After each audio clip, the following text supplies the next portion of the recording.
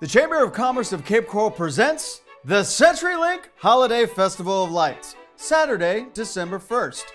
We're gonna jingle your bells with the Christmas tree lighting and Santa's arrival, the Snowdrift Slide, the free Tiny Tots train ride, free kids fun zone, lots of food and drinks, plenty of holiday vendors, and community performances on our four stages. Give your family a holiday to remember at the CenturyLink Holiday Festival of Lights.